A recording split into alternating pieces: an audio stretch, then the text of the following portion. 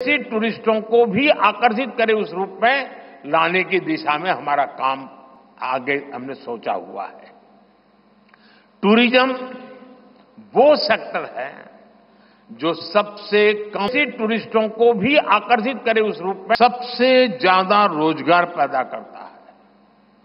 Tourism बढ़ता है तो होटल, रेस्टोरेंट, ऑटो रिक्शा वाले, टैक्सी वाले सभी को इससे फ़ायदा होता है।